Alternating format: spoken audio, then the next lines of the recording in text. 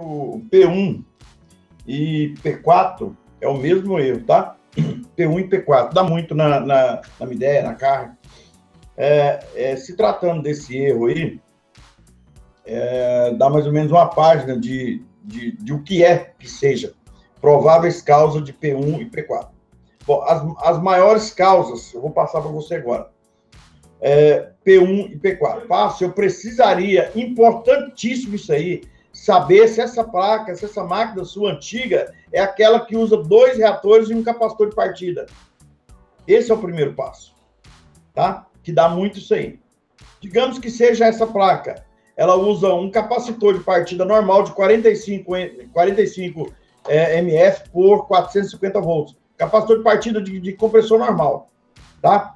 Esse capacitor trabalha junto com o reator, que é para filtrar os transientes tá? da rede, filtrar a rede ali, estabilizar a corrente é, em cima da placa. É, essa placa, essa máquina aí, que se, eu, se for essa, se for essa aí, é, primeira coisa que vai ter que fazer, trocar o capacitor de partida. Tá? Lembra bem, gente, esse capacitor de partida não é de partida do compressor. Tem nada a ver com o compressor, tá? Nada a ver com o compressor. É, ela trabalha junto com os reatores, tá? São dois reatores, tá ok? Junto com esse capacitor, tá? Então, é, você tem que trocar esse capacitor, ele é 45. Isso é um motivo, tá?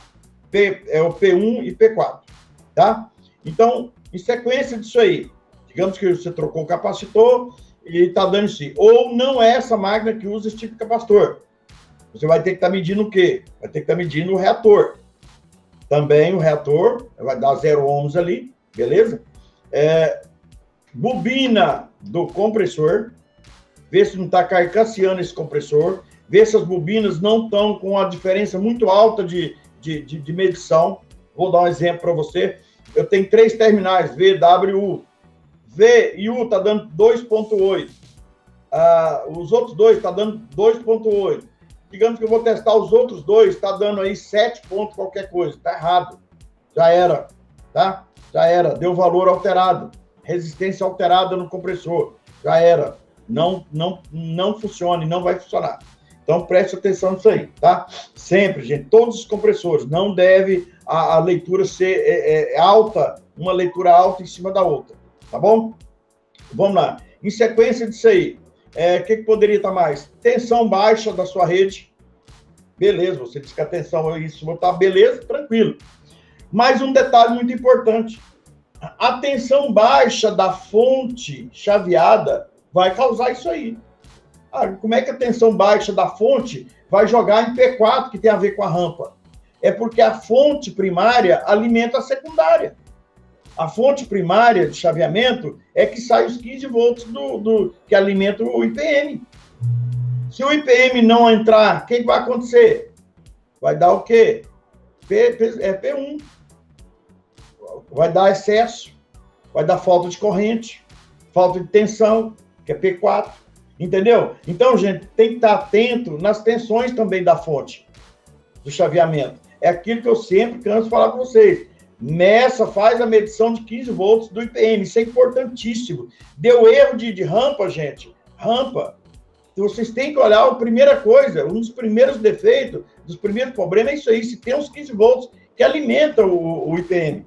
É importante, porque se tiver 8 volts, 7 volts, 10 volts, não vai, o IPM não parte. O IPM não, não, ele não é excitado. Entendendo? Ele não mantém. Porque a hora que o IPM, vou dar um exemplo para vocês. Quando a Fujitsu, dá muitos na Fujitsu, a 12 mil, por exemplo, quando ela começa a subir a rampa, ela começa a rampear, tá? Quando ela chega mais ou menos a 1.500 giro, tá? 1.500 RPM, o que, que acontece com o compressor? Buf, derruba. Por quê? Porque o IPM exigiu da, do, do, da fonte chaveada e não conseguiu suster. Quem faz isso aí? Power. Não conseguiu suster o IPM. Aí o que acontece? Derruba tá? Então, nessa máquina sua, eu precisaria saber se ela usa, se for desse, desse, desse dessa, das máquinas que saíram, igual a Bosch, que usa também esse capacitor de partida, troca o capacitor, resolve esse problema. O capacitor ele baixa muito, ele zera, ele zera.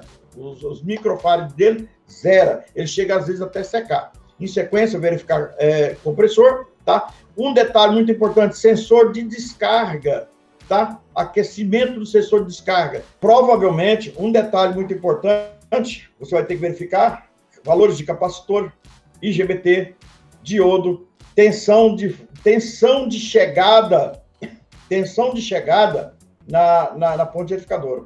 Um detalhe, gente, que o pessoal tá, tá esquecendo, que eu falei para vocês aqui, ó. Vamos lá, vamos pegar essa placa como exemplo. Vamos lá.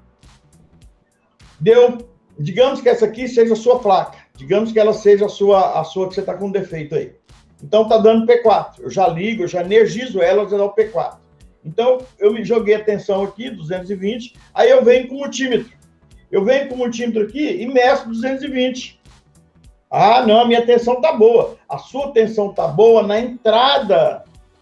Mas você esquece que até chegar na ponte retificadora é filtrada essa tensão, é passada pelo circuito LC, circuito LC, tá? Que é o circuito de capacitor de bobina é passado pelo PTC, tá? PTC, que faz o starter da placa, é passado, atenção, pelo relé para chegar na ponte retificadora. Então, eu medi aqui 220, mas da ponte retificadora tem quantos volts? Ah, tá dando 170 volts. Tá errado. Não vai funcionar. Então a placa já vai entrar com erro. Se caso a sua placa lá fora estiver entrando com erro, principalmente P1 ou P4, então sinaliza que a, a, sua, a sua rampa não está sendo alimentada, filho. Não está sendo alimentada.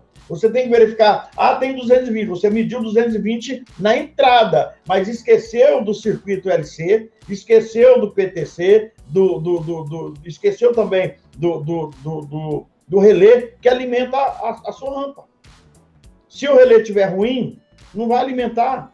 Se o PTC estiver ruim, não vai alimentar. Se o capacitor da linha LC filtro estiver ruim, o que vai acontecer? Vai, a tensão de, de, que deveria ser 110, ou digamos aí 110 ou 220 numa fase, não vai chegar, vai chegar metade. Tá ok? Então preste muita atenção nisso aí, gente. Detalhes pequenos que às vezes você deixa passar, que causa defeito, que causa dor de cabeça. São pequenos defeitos. Gente, é basta vocês analisarem a placa, se tiver, tiver a, cabeça estiver doendo, vai tomar um café, vai tomar uma Coca-Cola e volta normal, volta lá tranquilo, toma água, volta e começa a analisar do princípio, desde a entrada de tensão até chegar na ponte retificadora.